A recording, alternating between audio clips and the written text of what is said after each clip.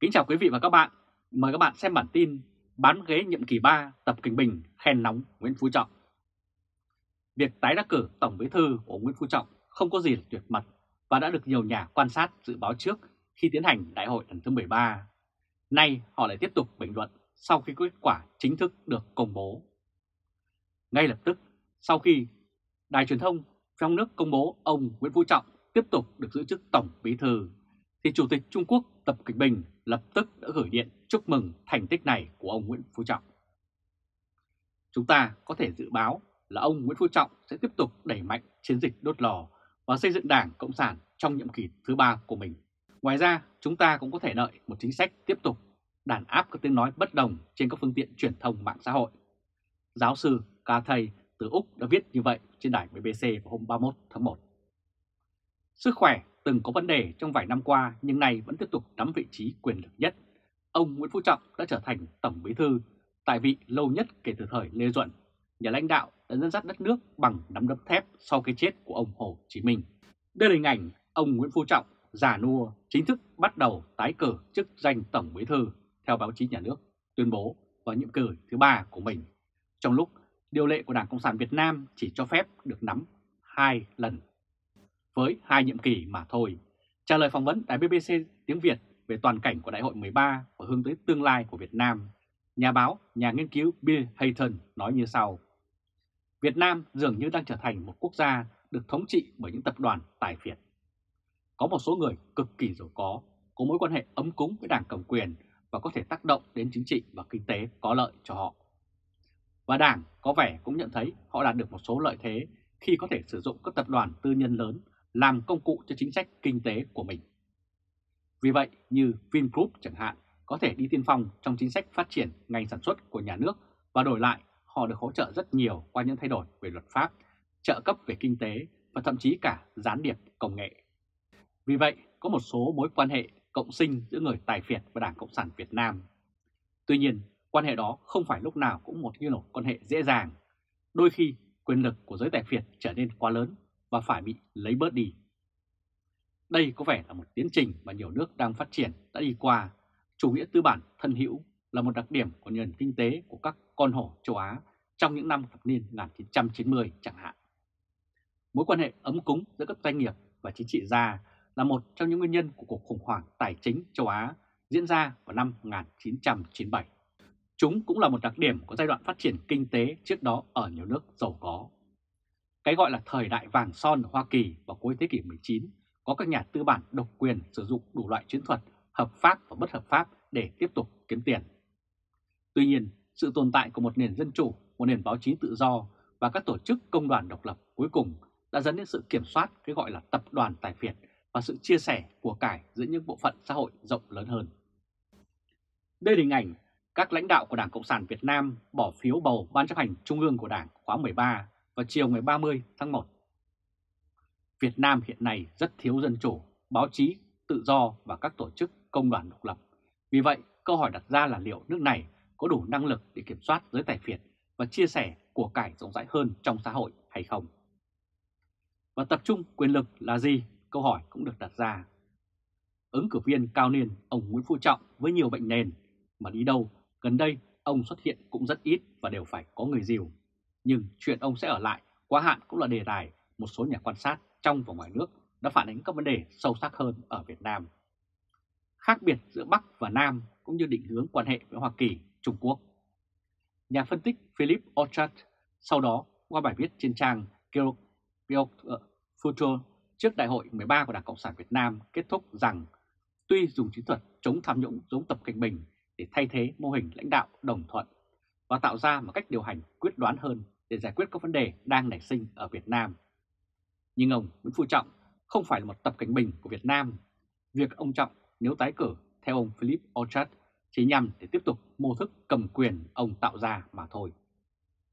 Khác với Tập Cảnh Bình, không có nỗ lực nào để xây dựng một giáo phái nhân cách xung quanh ông Trọng, không một thông điệp nào từ phương tiện truyền thông nhà nước ám chỉ rằng chỉ một mình ông Trọng là có thể khôi phục lại cho Việt Nam vinh quang đã mất. Ông Trọng được dư luận trông đợi sẽ về hưu khi mà cấp dưới hết tranh cãi với nhau đủ lâu để có thể đồng ý với nhau về cách thay thế ông tốt nhất nhằm gỡ thế bí dân sự. Được biết, trước đại hội 13 diễn ra, tiến sĩ Nguyễn Hữu Liêm trong một bài viết cho đài BBC cũng nhận xét rằng người mà ông Nguyễn Phú Trọng đang tìm là chính ông. Một chỉ dấu cho thấy sự bế tắc trong việc chuyển giao quyền lực ở thời điểm này. Chỉ có một mình ông Nguyễn Phú Trọng đang đi tìm một Nguyễn Phú Trọng và càng loay hoay tìm người kế vị, ông chỉ nhìn thấy chiếc bóng của mình, tiến sĩ Liêm đã viết như vậy. Đây là hình ảnh sau khi bị đột quỵ lần một tại Kiên Giang vào hồi tháng 4 năm 2019. Ông Tổng Bí thư Chủ tịch nước Nguyễn Phú Trọng thường xuất hiện rất ít và nếu có chỉ với hình ảnh đi không vững và phải có người vừa đi vừa dìu. Trên trang Facebook cá nhân có hơn 40.000 người theo dõi, giáo sư Mạc Văn Trang đã bình luận như sau. Bảo cụ Trọng phải tiếp tục làm Tổng Bí Thư thì được, còn bảo cụ ấy già yếu, nghỉ cho người trẻ lên là phản động. Dân chủ là thế đấy.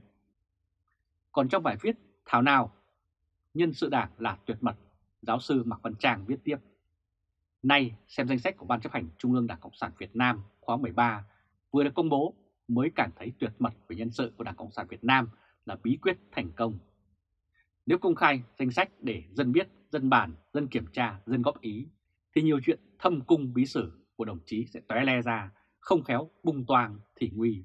Bí mật nên lòng dân mới không biết ý đảng ra răng mà mẩn. Cụ Nguyễn Phú Trọng cứ cho là sự nghiệp đốt lò của cụ được nhiều người khen. Cụ gương mẫu với các đảng viên, cụ có công củng cố đảng, nhưng nghe trong dân có nhiều ý kiến về cụ đấy. Nhiều người thương yêu cụ, bảo cụ già yếu, bệnh tật thế kia, để cụ phải gánh vác công việc nặng nề, nòm rất tội nghiệp. Nghe nói cụ bà cũng khuyên cụ nghỉ hưu thôi. Nhiều người quý cụ mà muốn được cụ an nhàn tuổi già. Cũng có người bảo cụ Biden bên Mỹ còn già hơn, nhưng cụ ấy chưa bị bệnh, còn đi lại nhanh nhẹn, quỳ gối cũng rất nhanh, thoát. Còn cụ Trọng tai biến rồi, đi phải có người dắt, tuổi càng cao sẽ càng yếu. Của lại mang tiếng tham quyền cố vị. Ở đại hội 12 hứa là làm nửa nhiệm kỳ, thế rồi kéo dài cả nhiệm kỳ. Nay lại tiếp nhiệm kỳ thứ ba, thế là vi phạm điều lệ đảng, mà thân làm tội đời chứ được cái gì. Nhà bình luận này nói tiếp, lại có người bảo sao cụ không tin vào người kế cận do chính cụ tuyển chọn, bồi dưỡng mà cứ cố ôm đồm, che giả mang mọc chứ, ôm sao được mãi. Cụ từng chọn ông Phạm Quang Nghị làm thế tử, thế rồi cũng đi tòng, rồi ông Đinh Thế Huynh, cụ tâm đắc lắm, thế mà cũng cho ngồi chơi xây nước mất tầm luôn. Rồi khóa này, ông Trần Quốc Vượng được chọn là thường trực ban bí thư dưới một người trên vạn người, quyền sinh, quyền sát bấy lâu nay, thế mà cũng cho tuột dốc không phanh. Đây là hình ảnh ông thường trực ban bí thư Trần Quốc Vượng. Vậy là sao? Có kẻ độc mồm theo thuyết mưu nó bảo, cụ chỉ giả vờ lú thôi chứ thâm nho lắm. Chọn người kế vị có vấn đề để cụ phế đi và tiếp tục nắm quyền. Thôi thì miệng liệng tiếng dân, biết dân bàn phức tạp lắm. Còn cái bọn thế lực thù địch, cơ hội bất mãn, đòi tam quyền phân lập, xã hội dân sự mà cụ gọi là những kẻ bất hảo. Chúng nó chê cụ kinh lắm, chẳng dám nhắc ở đây làm gì. Nhưng bọn ấy cũng là dân đấy, chúng vẫn là công dân, thực hiện theo Điều 25 của Hiến pháp nước Cộng hòa xã hội chủ nghĩa Việt Nam năm 2013. Dù cụ bảo Hiến pháp là quan trọng lắm, chỉ dưới cương lĩnh của Đảng, nhưng bọn này không thể biết cương lĩnh là cái gì, cứ Hiến pháp là tối thượng. Cụ mà bắt bọn này đi tù hết thì nhà tù đâu mà chứa cho nổi. Tổng bí thư Nguyễn Phú Trọng đã nói, dân tinh lắm, hỏi dân biết cả. Ông Trần Quốc Vượng, thường trực ban bí thư thì có nói, dân là người giám sát, không ai qua mắt được dân. Đều là đúng sự thật, là chân lý đó. Nhưng Đảng nói vậy mà lại sợ hãi, trốn tránh, che giấu sự thật. Bầu bán xong rồi mới dám công khai thì dân còn biết làm gì. Giáo sư Mạc Văn Trang đã nêu ra chất vấn của mình như vậy. Còn blog Bùi Thanh Hiếu cũng đưa ra bình luận với bài viết mang tựa đề Không có vùng cấm nhưng có vùng đặc biệt. Nội dung được chia sẻ như sau. Phát biểu về xử lý tham nhũng, tức xử lý những cấp dưới của mình, ông Nguyễn Phú Trọng thường dùng từ mạnh mẽ như không có vùng cấm, cương quyết xử lý những kẻ lợi dụng chức vụ, quyền lực và tham ô, tư lợi, vô vàn những điều mà chính trực thốt ra từ miệng của ông. Thế nhưng cuối cùng ông lại chính là kẻ lợi dụng chức quyền, tư lợi đặt mình ra khỏi vùng cấm. Lợi dụng ở đây là ông lợi dụng quyền Tổng Bí Thư, quyền trưởng tiểu ban nhân sự, quyền trưởng ban quy hoạch cán bộ chiến lược để đưa ông vượt ra khỏi vùng cấm là điều 17 của điều lệ đảng quy định không được làm Tổng Bí Thư quá hai nhiệm kỳ liên tiếp. vượt qua quy định 90 về nhân sự là người lãnh đạo phải đảm bảo sức khỏe, độ tuổi tái cử không quá 65. Đây là hình ảnh ông Tổng Bí thư Nguyễn Phú Trọng tuyên thệ nhậm chức Chủ tịch nước vào hôm 25 tháng 10 năm 2018. Sau ngày khai mạc Đại hội Đảng Cộng sản Việt Nam lần thứ 13, có một số tin đồn ông không chắc đã được đại hội bầu tiếp tục làm Tổng Bí thư. Điều này rất khó xảy ra bởi ông Nguyễn Phú Trọng đã lường trước mọi tình huống có thể xảy ra và sắp đặt của ông. Điều đáng chú ý là đại hội 13 lần này không thấy đề cập đến quyết định 244 quy định về trường hợp được giới thiệu ở đại hội, trường hợp được tự ứng cử phải qua những quy trình ra sao. Có nghĩa là ông Nguyễn Phú Trọng đã loại bỏ điều 244 để không có kẻ nào ngoài danh sách mà ông đã chọn được ứng cử. Theo quy định thì các ủy viên Bộ Chính trị, Ban Bí thư không được đề cử những ai nằm ngoài danh sách đề cử của Bộ Chính trị trong các hội nghị trung ương. Danh sách ông Nguyễn Phú Trọng đã chọn hội nghị trung ương 15, hội nghị cuối cùng của khóa 12 như sau. Đó là Tổng Bí thư chính là ông, Chủ tịch nước là ông Nguyễn Xuân Phúc, Thủ tướng là ông Phạm Minh Chính, Chủ tịch Quốc hội là ông Vương Đình Huệ. Trả lời báo chí, ông Hậu A Lành, Phó Chủ tịch Ủy ban Mặt trận Tổ quốc Việt Nam đã cho biết như sau. Trên cơ sở đó, các đoàn đại biểu sẽ thảo luận, đại hội sẽ cung cấp hồ sơ rất đầy đủ của cá nhân từng ứng viên để các đoàn đại biểu có đủ thời gian để xem xét một cách kỹ lưỡng từng nhân sự. Thời gian dành cho thảo luận về công tác nhân sự là 3 ngày, thời gian rất dài và đủ để các đại biểu có thời gian để nghiên cứu một cách đầy đủ nhất về hồ sơ của từng ứng viên và nghiên cứu kỹ nhất về đề án nhân sự để bầu chính xác. Dự kiến đại hội sẽ bầu Ban chấp hành Trung ương khóa 13 vào ngày Chủ nhật 31 tháng 1 và công bố kết quả vào chiều cùng ngày. Câu trả lời của Hậu A Lệnh không nhắc đến việc đại hội giới thiệu ứng cử viên, các đại biểu chỉ nhận hồ sơ ứng viên do đại hội cung cấp và căn cứ theo đó để bỏ phiếu bầu. Đây là hình ảnh ông Phạm Minh Chính được dự kiến giữ chức Thủ tướng Chính phủ thay ông Nguyễn Xuân Phúc sẽ lên làm Chủ tịch nước. Đặc biệt lần này, đại hội sử dụng máy quét đếm phiếu đưa vào máy quét rồi hiển thị kết quả trên máy tính. Giám sát viên chỉ nhìn con số trên màn hình máy tính. Thử hỏi, với công nghệ bây giờ, có thể mặc định cho máy tính một chương trình tính 80% cho một cái tên Nguyễn Phú Trọng không? Quá đơn giản và dễ dàng.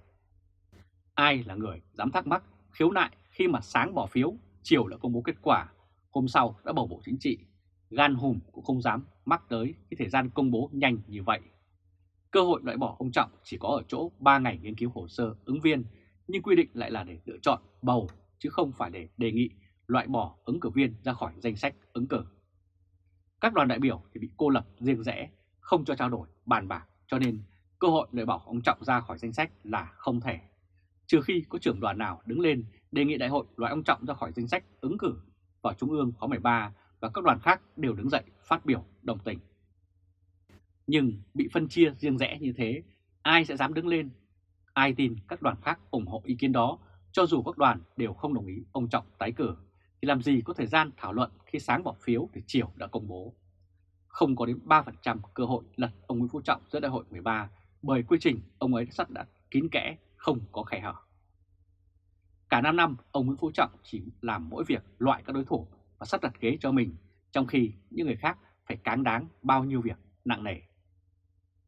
Ông thì ưu tiên hoàn toàn, một kẻ vừa đá bóng vừa thổi còi thì cần gì phải di chuyển nhiều trên sân, chỉ cần đi bộ dẫn bóng đến không thành, ai ngăn cản sẽ bị thẻ đỏ. Làm sao mà không toàn thắng? Blog Bùi Thành Hiếu đã đưa ra nhận xét như vậy. Quý vị và các bạn vừa theo dõi chương trình truyền hình trực tiếp của Lê Trung Khoa, Thời báo chấm ngày hôm nay thứ hai ngày 1 tháng 2 năm 2021 với bản tin Bám ghế nhiệm kỳ 3, Tập Kính Bình khen nóng Nguyễn Phú Trọng. Quý vị và các bạn hãy chia sẻ video này cho nhiều người biết và bấm nút theo dõi YouTube và Facebook của Thời Báo .de để luôn được cập nhật những bản tin mới nhất, nhanh nhất và trung thực nhất.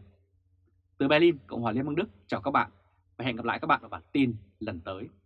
Trung Khoa Thời Báo .de.